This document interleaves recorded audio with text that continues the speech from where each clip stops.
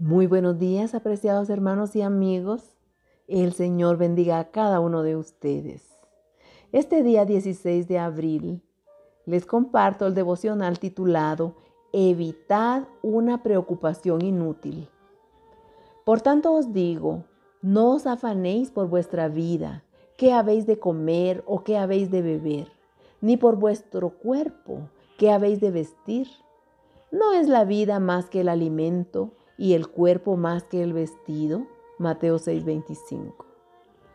Si tratáis de hacer lo mejor, no fatiguéis vuestro cuerpo y vuestra mente con los cuidados de esta vida. No malogréis vuestra experiencia religiosa por las preocupaciones, sino confiad en que el Señor trabajará por vosotros y hará lo que no podéis hacer por vosotros mismos. La vida es más que el alimento y el cuerpo es más que el vestido. Hay mucha preocupación innecesaria, mucha angustia mental por cosas inevitables. El Señor quisiera que sus hijos pusieran su confianza plenamente en Él. Nuestro Señor es un Dios justo y recto, sus hijos deberían estarle agradecidos por su bondad y su justicia en las cosas grandes y pequeñas de la vida. Los que acarician el espíritu de preocupación y de queja se rehúsan a reconocer su amor y su mano guiadora. La ansiedad innecesaria es una cosa insensata y nos incapacita para ocupar una posición aceptable delante de Dios.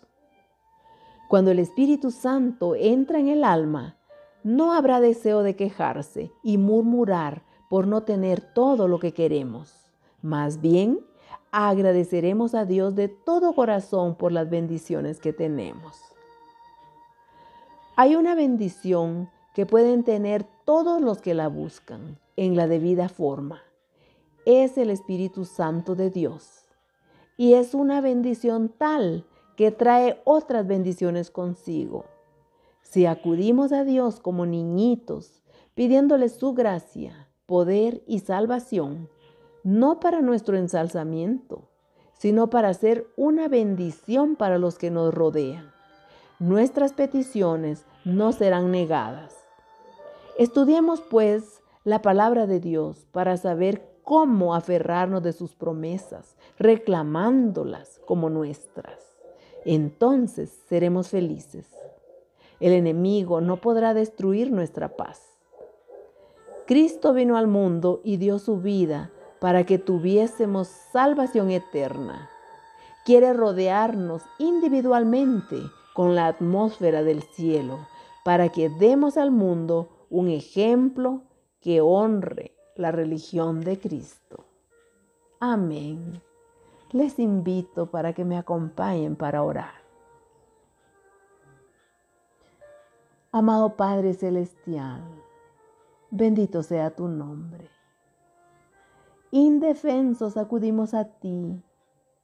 Concédenos tu gracia, poder y salvación, para que seamos una bendición para los que nos rodean condúcenos de acuerdo a tu voluntad. Te lo suplicamos en el dulce nombre de Cristo Jesús. Amén.